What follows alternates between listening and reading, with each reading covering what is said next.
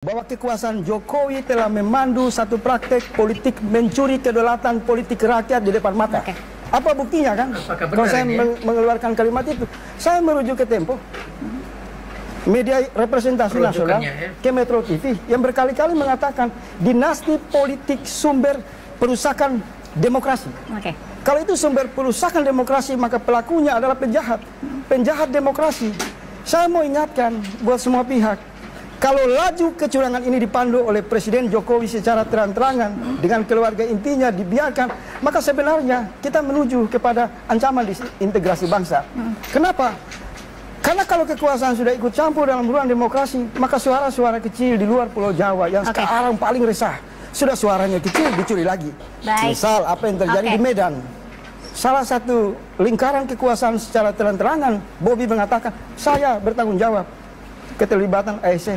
Menurut saya ini pernyataan-pernyataan yang brengsek dan jauh dari peradaban demokrasi dan kultur budaya bangsa Oke, Indonesia. silakan tanggapannya Ma- Mas Kodari untuk memberikan komentarnya. Silakan. Ya, saya nggak nggak menafikan bahwa yang namanya kecurangan itu bisa terjadi ya. Paling tidak dalam konteks pilkada kan ada yang diproses oleh Bawaslu misalnya. Gini, kalau bicara bicara pemakzulan, pasti pertama-tama kita bicara proses ya. Prosesnya sudah disediakan. Pertama ke DPR. Jadi beliau ini kan salah ya datangnya ke Menko Polhukam. Jadi saya nanti ke bahas ya. DPR, DPR nanti kalau memang sepakat ada eh, pelanggaran dibawa ke Mahkamah Konstitusi. Mahkamah Konstitusi kalau menyetujui dibawa kepada MPR. Jadi menurut saya dari proses itu saja ada problem pem- pemahaman prosedural dari Bang eh, Faisal dan kawan-kawan mengenai soal pemakzulan ini. Yang kedua yang lebih parah lagi adalah Bang Faisal dan kawan-kawan ini tidak paham tentang sosiologi masyarakat Indonesia. Syarat pemakzulan, syarat revolusi itu ada di masyarakat.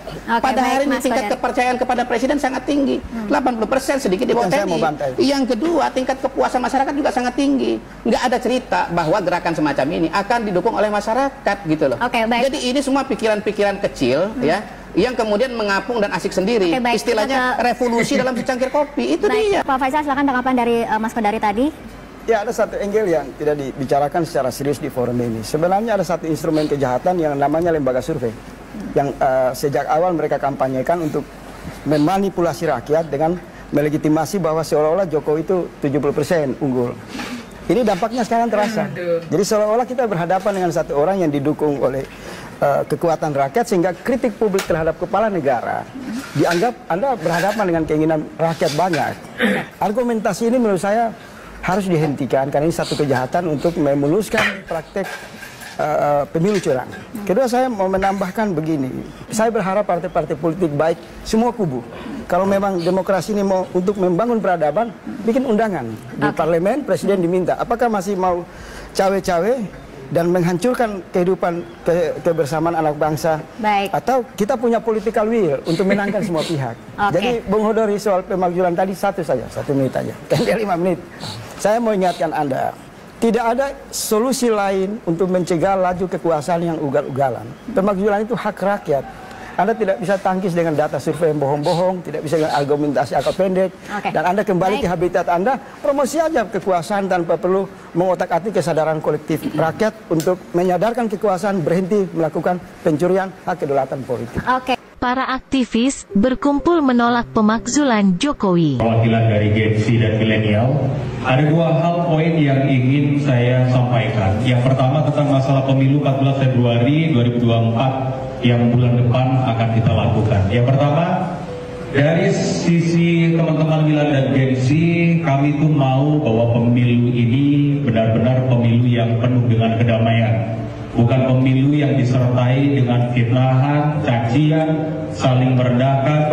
Apalagi kami belajar dari apa yang Pak Prabowo katakan, bahwa ini hanyalah sebuah pertandingan persahabatan. Jadi yang menang nanti tenang, tapi juga ini penting, yang kalah jangan buat masalah. Senior-senior kami itu adalah teladan bagi kami anak-anak muda. Karena biar bagaimanapun kami yang muda-muda ini memiliki tanggung jawab untuk meneruskan nasib bangsa ke depan. Dan yang kedua, ini mungkin berita hal yang sederhana yang terjadi tentang isu-isu pemakzulan Pak Jokowi. Bangsa Indonesia ini sekarang menjadi bangsa yang terhormat dan dihargai oleh bangsa-bangsa yang lain. Dan Pak Jokowi berhasil menumbuhkan rasa cinta kembali kepada kami ini teman-teman muda dan zilenial. Kalau ada niat untuk membuat pemakzulan, pertanyaannya apa yang sudah kita buat sehingga kita merasa bahwa apa yang dibuat oleh presiden kita itu tidak baik. Ajari kami, pertontonkan kami dengan etika-etika cara berpolitik yang beradab. Terima kasih. Assalamualaikum warahmatullahi wabarakatuh. Ya saya stitch dulu video ini mau mengomentari apa namanya perdebatan super panas ya antara Pak Nusron Wahid dengan si Faisal Assegaf. Jadi ada beberapa hal yang mau saya kritisi ya dari perdebatan mereka yang panas ini. Pertama dari segi adab dulu lah, karena uh, di mana-mana yang namanya adab itu yang paling utama loh. Boleh orang sepintar apa pun, tapi kalau nggak ada adabnya itu jatuhnya jadi manusia biadab. Tapi sebodoh apa pun orang, kalau dia punya adab itu akan disayang. Ya, jadi saya lihat si Faisal Assegaf ini sama sekali nggak ada adabnya. Dia ngomong didengari Pak Nusron. Giliran Pak Nusron ngomong dia potong terus. Nggak dikasih kesempatan Pak Nusron untuk ngomong. Sampai-sampai Pak Karni yang ngatin, sudah sudah giliran udah selesai dengarkan orang lain ngomong. Tapi tetap nggak mau didengarin.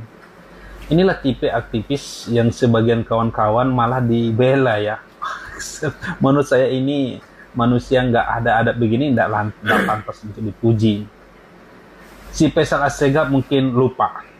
Dia memang uh, punya mulut, tapi dia juga punya dua telinga. Bahkan lebih banyak ya, telinga dua, mulut cuma satu. Harusnya selain bisa ngomong, kita juga harus sering mendengar, lebih banyak mendengar. Ini yang tidak dimiliki oleh si Faisal Assegaf ini. Makanya dari segi adab saja udah. Faisal Assegaf udah kosong nilainya. Bahkan minus ya. Kalau kata Anies 11 dari 100 yang kedua dia selalu membawa-bawa atas nama rakyat.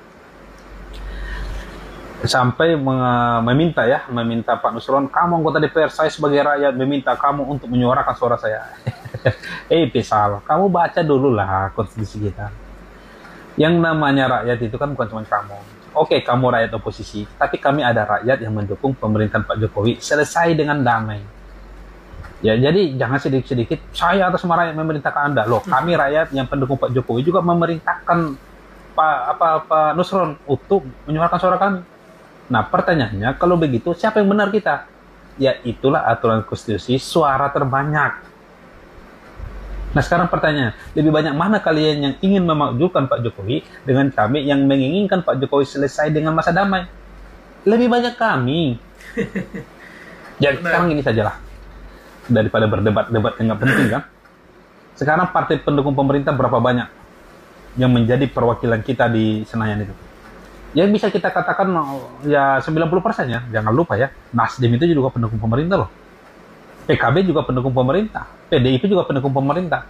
Jadi satu-satunya partai oposisi itu sebenarnya cuma PKS. Ya sudah, kamu bersuarakan lah sama caleg-caleg apa uh, anggota legislatif sana, anggota DPR dari PKS. Nah, pertanyaannya berapa persen PKS? kan nggak nyampe 10 persen. Ya, ya udah selesai diam aja kalau begitu. Nggak usah lagi kita cerita mau memakjulkan segala macam. Bukan barang haram nih memakjulkan ini. Saya udah bolak-balik katakan ini adalah hal yang halal. Boleh dalam demokrasi kita. Tapi jangan memaksakan. Kalau sudah jelas kalah suara, diam. Kalau kau Faisal Assegaf nggak bisa diam, pulang kau ke Yaman daripada bikin rusuh negara kami. Pulang ke Yaman ya? Ya negara kita, sorry, kau juga bangsa Indonesia. Tapi kalau kau bangsa Indonesia, sayang dong sama negara kita. Jangan sedikit-sedikit mau majukan presiden lah, mau jatuhkan kekuasaan lah. Sudah pelajaran sama kita. Di mana-mana kalau pergantian kekuasaan itu tidak dengan bagus, itu pasti akan membuat kondisi kita mundur ke belakang beberapa tahun. Jadi anggap saja ya, bangsa kita ini sudah di angka 6 atau 7, menuju angka 10 sebagai negara maju kalau kalian buat lagi negara kita ini rusuh, kalian buat lagi gaduh, kita akan kembali lagi titik nol. Jadi kapan bangsa kita mau maju? Ya kalau masalah pergantian presiden kan sudah, tinggal pilpres bulan depan. Perjuangkanlah siapa yang kamu mau, mau yang kamu yakini. Tapi jangan sedikit-sedikit majukan presiden, turunkan presiden. Kalau tidak yakin dengan pemilu apa pemilu yang adil, kan kita punya KPU, kita punya Bawaslu, kuatkan.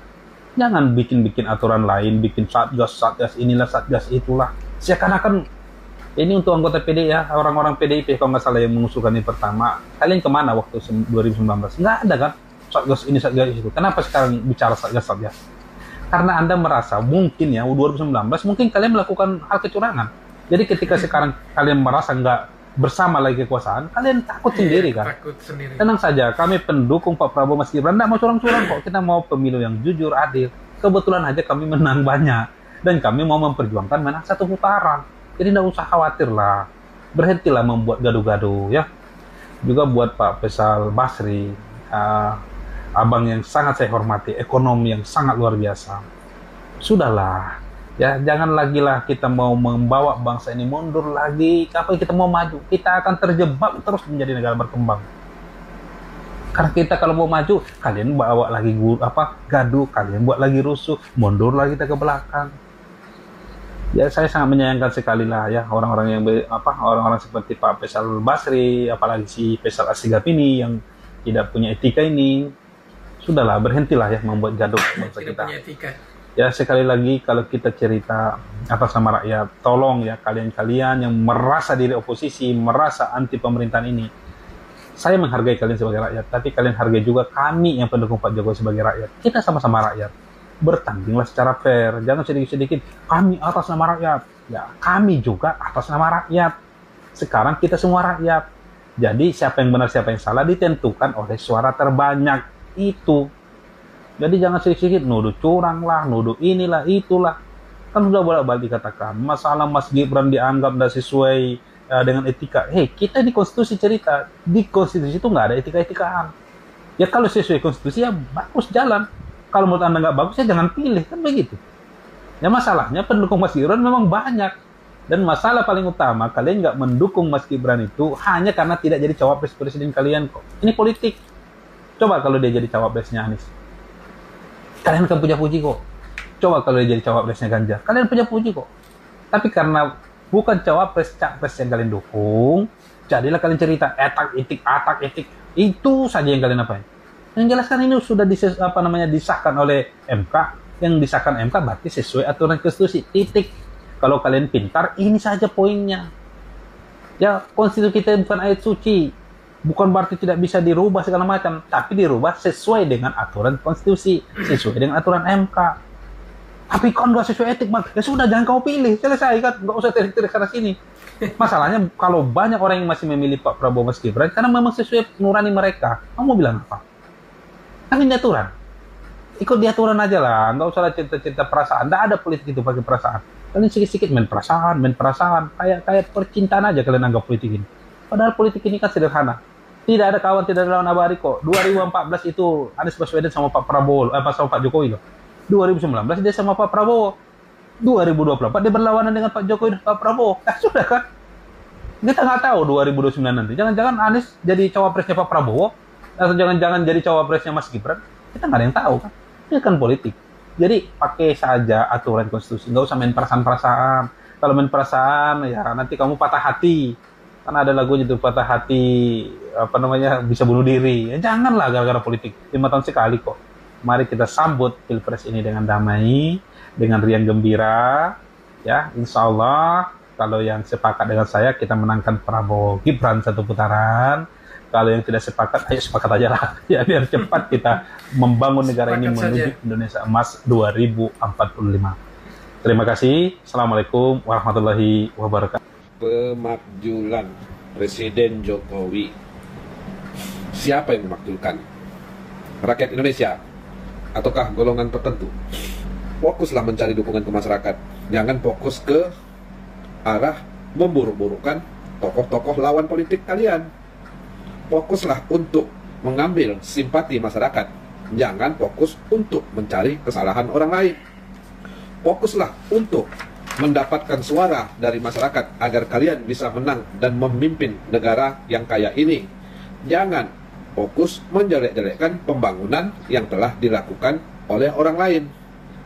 Ingat, fokus itu penting, tapi jangan fokus menjelekkan orang lain. Salam kemajuan Indonesia, salam kebangkitan rakyat Indonesia. Jadi, para pemakjul-pemakjul, sabar dikit, kalau memang rakyat Indonesia pinginnya uh, presiden kita dimakzulkan, itu akan nampak nanti. Tapi sayangnya nggak nampak yang disebut dengan petisi 100. Siapa aja petisi 100 itu? Apakah mereka mewakili rakyat Indonesia atau mewakili golongan-golongan mereka sendiri? Sebab pemakzulan itu sesuatu yang luar biasa dan itu harus dari suara rakyat. Alangkah lebih baiknya kita lebih mempertimbangkan suara masyarakat melalui jalur pemilu. Jadi siapa yang dipilih masyarakat itulah yang jadi presiden. Jangan presiden tidak ada yang akan mengakhiri masa jabatannya dimakjul-makjulkan. Itu mengada-ngada namanya.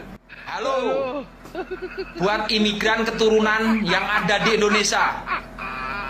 Anda numpang hidup di Indonesia, numpang makan di Indonesia, saya ingatkan, jangan pernah bikin gaduh di Indonesia. Ingat, pribumi bangkit. Tanya, apakah perlu pemakzulan? Hari ini seluruh rakyat sadar. Ya, itulah uh, cuplikan video. Kalau ditanya, apakah perlu pemakzulan? Hari ini seluruh rakyat sadar.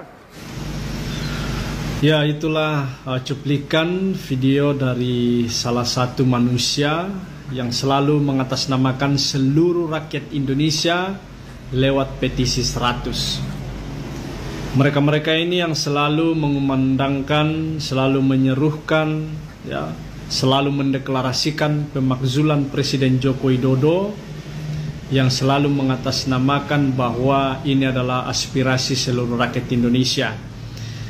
Tetapi sampai dengan detik ini belum ada seruan di seluruh rakyat Indonesia baik itu di media sosial maupun di lapangan secara langsung yang menyerukan bahwasannya kita menginginkan untuk pemakzulan Presiden Joko Widodo. Belum ada. Ya. Oleh karena itu ini adalah semata-mata kepentingan pribadi mereka, kepentingan kelompok mereka dan kepentingan salah satu capres. Karena kita tahu bersama bahwa siapa di belakang petisi 100 ini, ya, capres mana yang mereka dukung, ya. Karena kita tahu, kita bisa melihat, ya, mereka ini dengan terang benderang mendeklarasikan salah satu capres. Oleh karena itu, jangan mudah percaya dengan omongan kosong dari mereka ini. Kenapa? Karena mereka selalu membawa atas nama seluruh rakyat di Indonesia tetapi pada kenyataannya tidak seperti demikian ya. Apalagi bapak yang satu tadi itu selalu ngomong di mana-mana di media dengan berapi-api dengan emosional. Ya bahkan selalu tampil di forum kemudian uh, apa namanya berdebat dengan uh, berbagai tokoh-tokoh yang ada. Tetapi kita bisa melihat dengan cara-cara dia berdebat itu tidak pakai etika. Kenapa? Dia selalu tidak memberikan ruang kepada lawan bicaranya untuk berbicara ya. Kenapa? Karena emosinya menyulut ya. Kebencian sakit hati iri dengki terhadap keluarga Presiden Joko Widodo itu sudah mendarah daging dalam hati dan pikiran mereka-mereka ini. Sehingga apa? Sehingga tak terbendungkan lagi kemarahan mereka kebencian mereka. Oleh karena itu seruan mereka ini selalu dibungkus dengan atas nama rakyat Indonesia supaya apa? Supaya memuluskan keinginan mereka, supaya mewujudkan keinginan mereka. Tetapi saya yakin dan percaya bahwasannya rakyat tidak akan pernah tinggal diam dengan kelakuan-kelakuan mereka ini. Karena ini adalah murni kepentingan politik mereka, kepentingan kelompok mereka, ya itu adalah suatu tindakan yang makar, suatu tindakan yang melawan pemerintahan yang sah. Apakah kita mau diam? Apakah seluruh rakyat Indonesia mau diam? Orang-orang seperti inilah yang akan mengganggu ketertiban bangsa Indonesia ini. Orang-orang seperti inilah yang akan mengganggu kedamaian di Indonesia. Ya. Jadi mereka ini mengatasnamakan rakyat Indonesia kalau kita boleh bertanya kepada rakyat Indonesia apakah seluruhnya uh, benar-benar keinginannya untuk menghentikan Presiden Joko Widodo sekarang ya ya tentu tidak itu bukan keinginan rakyat Indonesia. Ya, kalau keinginan rakyat kelompok mereka pendukung salah satu capres ya mungkin iya. Karena kalau kita lihat di berbagai media sosial ya pendukung mereka yang didukung oleh petisi 100 ini ya ikut-ikutan untuk bersuara memakzulkan Presiden Joko Widodo. Tetapi kita yang masih percaya dengan Bapak Presiden Joko Widodo tentunya tidak boleh terpengaruh ya tidak boleh uh, terafiliasi dengan kata-kata atau kalimat dari mereka ini dan bahkan herannya ya beberapa kampus ya dan sebagian mahasiswa yang ikut-ikutan turun ke jalan menyuarakan hal ini kenapa ya sebagian besar yang katanya uh, mahasiswa ini adalah orang-orang yang intelektual, orang-orang pemikir, orang-orang yang akan mewakili suara rakyat kok malah ikut-ikutan dalam aksi-aksi yang uh, tidak berdasar ini. Karena ini ya jelas-jelas inkonstitusional.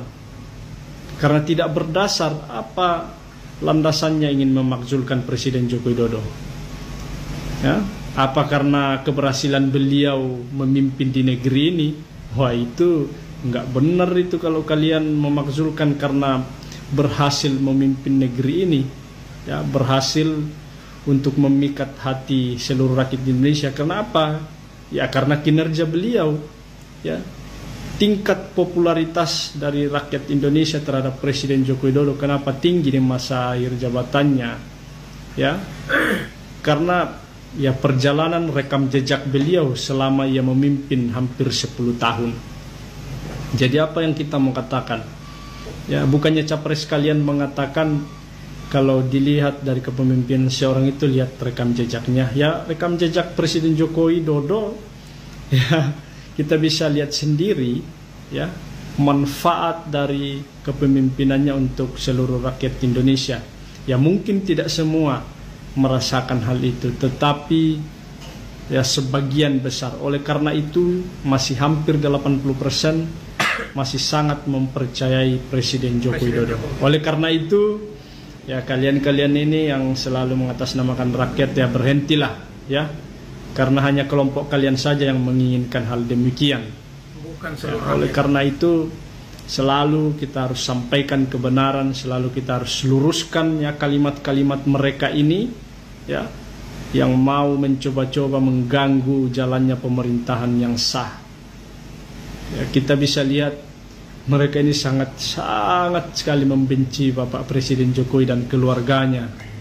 Bahkan dia tidak segan-segan menyebut satu persatu dari keluarga beliau. Karena apa? Ya karena kedengkian, karena apa?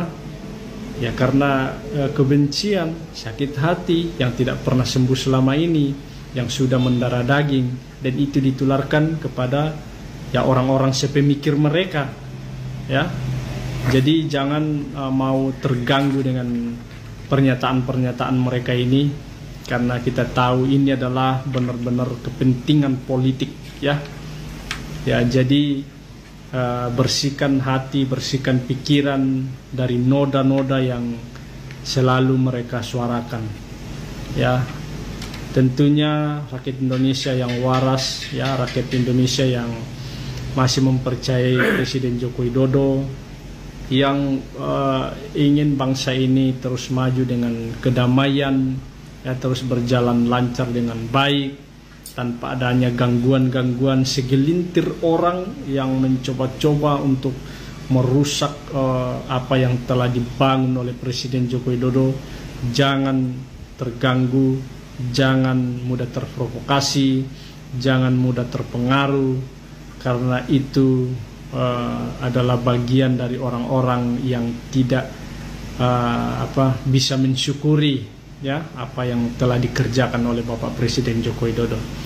Tetap uh, kawal Bapak Presiden Joko Widodo sampai dengan masa baktinya selesai sampai dengan uh, terakhir beliau memimpin di bulan Oktober nanti. Kita yakin dan percaya bahwa apa yang Presiden Jokowi kerjakan hari-hari ini itu adalah demi kebaikan uh, bangsa Indonesia, demi kebaikan rakyat Indonesia karena kita tahu kepentingan orang-orang yang tidak menyukai Presiden Joko Widodo ini adalah ada kaitannya dengan orang-orang dari negara luar ya. Itu yang harus kita tanamkan dalam setiap hati dan pikiran kita. Oke? Okay?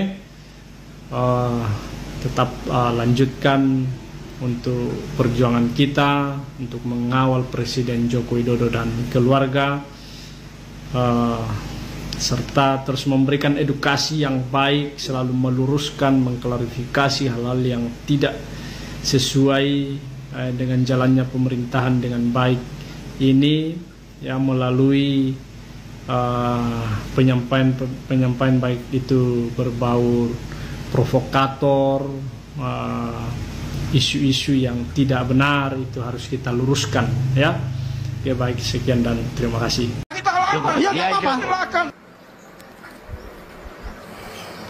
Selamat pagi. Bapak Nusron Wahid yang kami banggakan. Kalau dijelaskan seperti itu dia merasa tersinggung. Yang Anda jelaskan itu Faisal itu. Dikasih penjelasan malah itu merasa tersinggung. Yaitu yang menggiring opini itu yaitu Faisal itu Oh nggak merasa, yang merasa mewakili rakyat untuk memasulkan Jokowi rakyat yang mana? Rakyat yang mana itu? Kalau Bapak Nusron ditantang sama seperti itu, ayo kita buktikan. Ya silahkan aja dia suruh teruskan itu. Kalau nanti ada arus baliknya, masyarakat atau masyarakat rakyat seluruh Indonesia yang cinta, damai, dan tidak terjadi kegaduhan. Itu merasa kedamaiannya terusik karena mulut-mulut bajingan-bajingan kadrun itu. Seperti grupnya Faisal itu orang petisi 100 menamakan petisi 100 itu.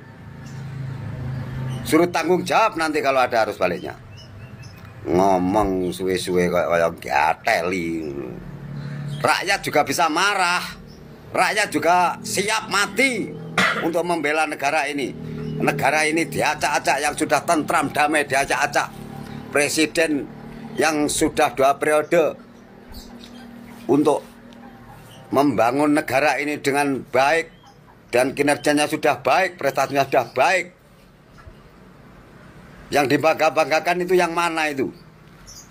Kalau Jokowi adalah presiden yang terbaik masyarakat sudah menilai dari hati ke hati. Kalau ngomong syukur orang-orang itu sakit hati itu.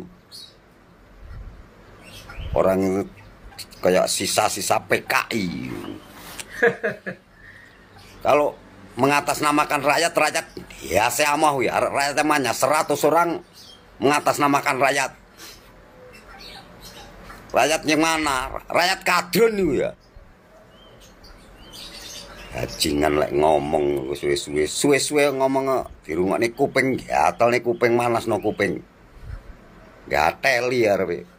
itu orang-orang yang akan menggagalkan pemilu ya itu. Nggak usah repot-repot kita prediksi orang-orang kayak gitu. Kayak gitu kok negarawan kayak gitu kok intelektual intelektual gatel ya kan mudah nang masyarakat yang mana yang diwakili Ono rasa berkeluarga di sana. Coba turun masuk ke pelosok-pelosok desa seperti Jokowi gitu loh. Eh, ngomong seperti itu. Tenang aja Bapak Nusron Wahid. Rakyat seluruh Indonesia yang cinta dengan pemerintahan yang ini di belakang Anda. Orang kayak gitu itu. Kita ngapain takut sama orang-orang kadun-kadun kayak gitu. Gak usah takut itu. Itu yang akan menggulingkan Pancasila itu pinter hukum lah pinter pinter otaknya tapi nggak punya moral. Buat apa? Kalau nggak kerasan di Indonesia silahkan hengkang dari bumi pertiwi Indonesia. Ngomongnya dancuk. Masyarakat ini sudah muak dengan kata-kata janji-janji dengan kata-kata yang indah-indah tapi buktinya gak ono. Hotel dike didiam-diamkan didengar-dengarkan dengan baik di LSI malah pamer masyarakat pamer kepandaian pamer arogansi ugal-ugalan ngomong masyarakat ngerti kamu itu tidak setuju sakit hati dengan pemerintahan ini. Terus kamu itu loh berbuat apa dengan masyarakat? Berbuat apa? Berbuat kegaduhan, sok ngomong hukum. Sok ngomong merasa dizolimi. Merasa digini, di itu.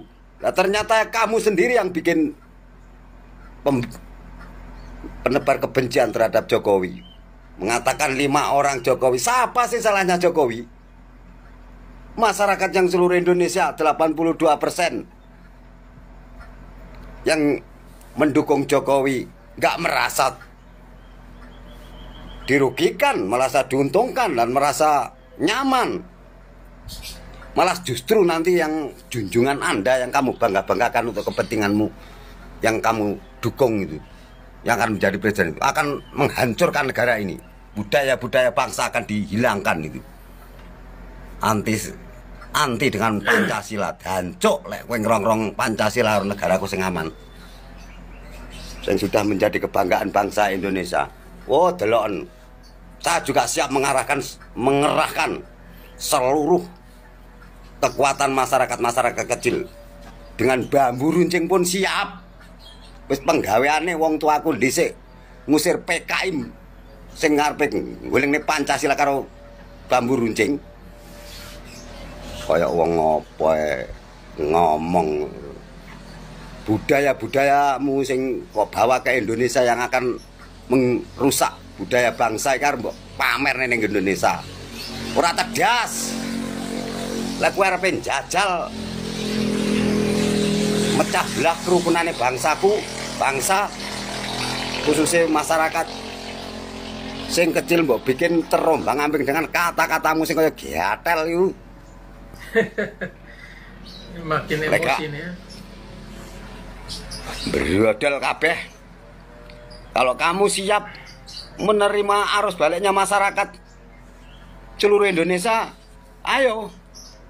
Ojo berkuar-kuar tok kamu mewakili petisi 100 ora raine wong 100 e wong sak desa ora iso ngatasi we.